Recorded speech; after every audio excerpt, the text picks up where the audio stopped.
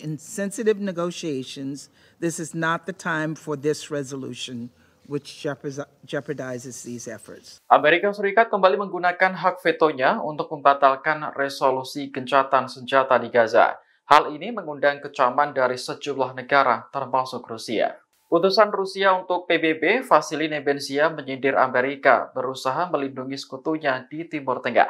Sebab gencatan senjata dinilai hanya akan menghambat Israel dalam melakukan tindakan keji di Gaza. Nebensia beranggapan bahwa Amerika telah merestui sekutunya untuk membuat Gaza tidak bisa dihuni. Diketahui resolusi gencatan senjata ini diusulkan oleh Al Jazeera di Dewan Keamanan PBB.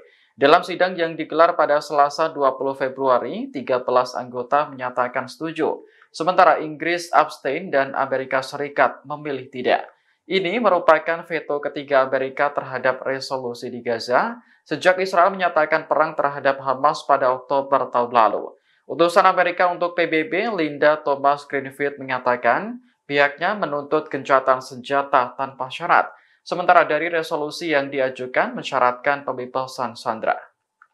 Believe me, I understand the desire for the Council to act urgently, to positively shape the situation in line with the Security Council's mandate.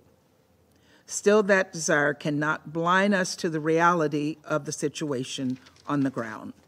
It, and it cannot come at the expense of undermining the only, and let me repeat, the only path available toward a longer, durable peace. And that is why you've heard me say over and over again any action this council takes right now should help, not hinder these sensitive and ongoing negotiations. And we believe that the resolution on the table right now would, in fact, negatively impact those negotiations.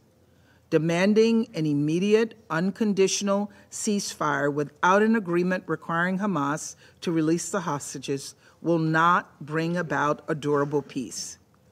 Instead, it could extend the fighting between Hamas and Israel, extend the hostages' time in captivity, an experience described by former hostages as hell, and extend the dire humanitarian crisis Palestinians are facing in Gaza.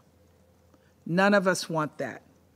And so I reiterate the United States' belief that while numerous parties engage in sensitive negotiations, this is not the time for this resolution, which jeopardizes these efforts. Download Tribun X sekarang, menghadirkan lokal menjadi Indonesia.